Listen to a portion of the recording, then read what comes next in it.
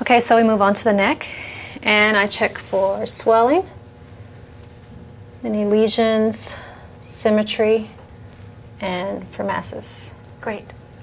Now let's test the range of motion. Okay, can you turn your head to the right and touch your chin to your shoulder? Okay, and turn your head to the left, chin to the shoulder. Okay, back towards me. All right, now touch your right ear to your right shoulder. Like, yes. All right, and then the left. Okay, chin to the chest. Okay, into the ceiling. Smooth and controlled. Thanks.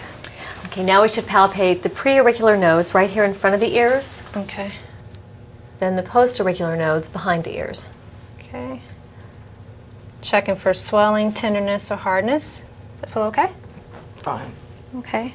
Now, some of these aren't palpable, right? That's right, lymph nodes should not be palpable. That's a normal finding. Okay. Okay, now what, Anna? Uh, we move on to the trachea.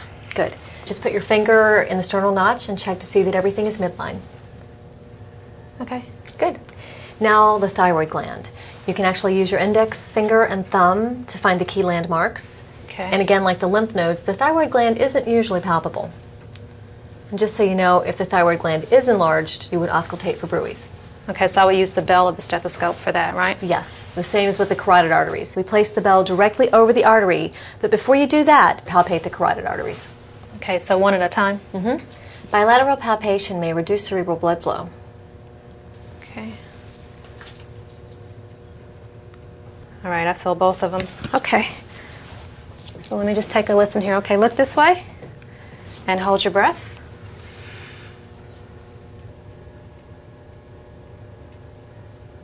Let it out. Let me check the other side. Hold your breath. No blowing or swishing sounds. Mm, nope. Okay.